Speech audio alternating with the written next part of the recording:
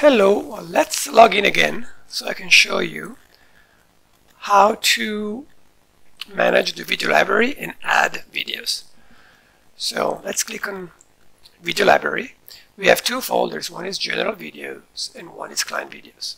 The difference is one is general videos is just this is all the folders and all the videos that we can use for to assign to different clients and we have many videos that we've taken already as you know. Then we have the client videos. Most of the clients don't have many, but for example here, Barbara Levinson has three videos in her library.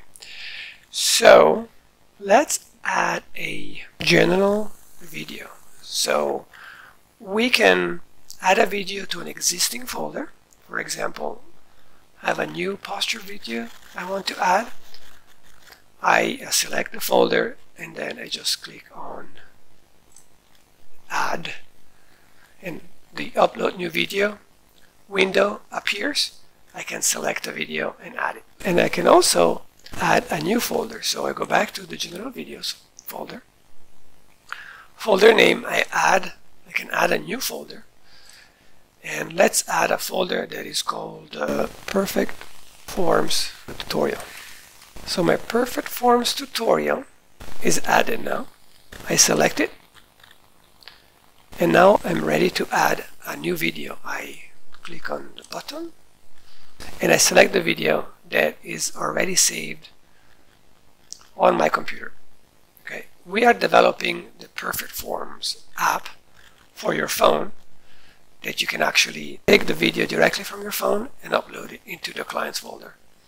For now, you have to take the video and then upload the video into the computer and then there you upload it here into the video library.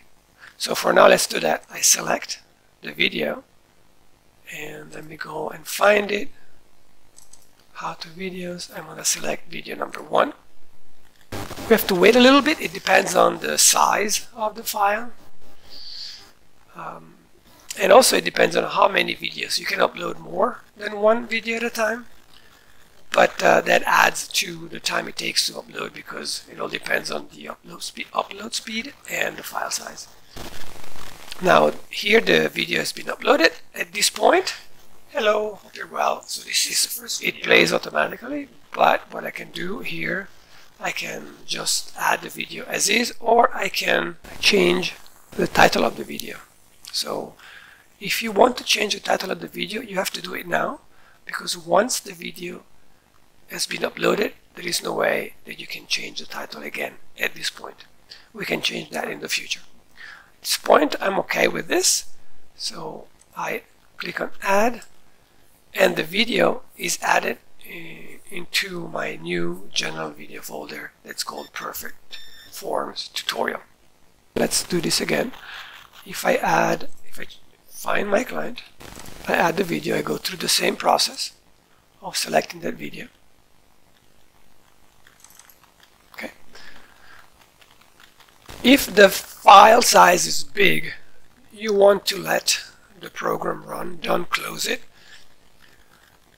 Uh, you can work on, on on the computer but on a different window. Don't close the window because if you do that, you will lose the upload process. Okay, the video been uploaded I can change the title. Okay. And then I add it and it's added into the client's personal folder. Now at this point what I can do I can add this video into a routine. So I can create a new routine for this client. At this point I have access to the general routines video and also the client videos I can also add general videos into this routine.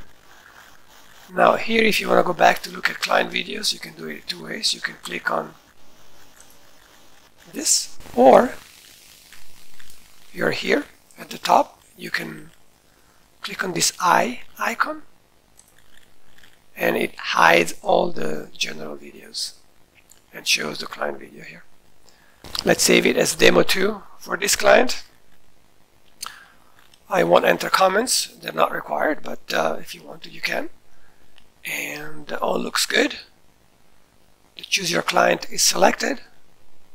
Okay, and I save the routine. For my client that now has three routines. Okay, I can go and look at it. And all three routines have been assigned for this client. And we're good.